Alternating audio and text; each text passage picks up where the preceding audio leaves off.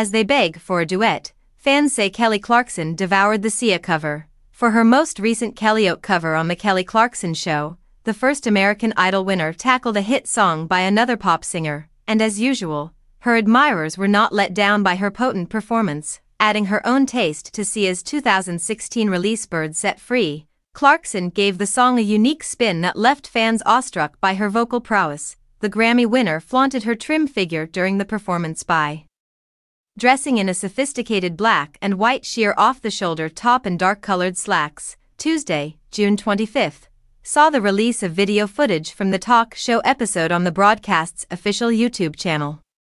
In the footage, the mother of two is seen giving the song her all. Fans' responses to the musical clip quickly flooded in. Some exclaimed, Sia songs are not easy to sing, but Kelly devoured this.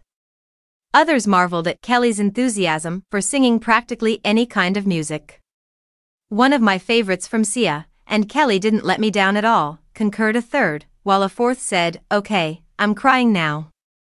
You guys killed it, Sia and Kelly. Oh, how I adore you too.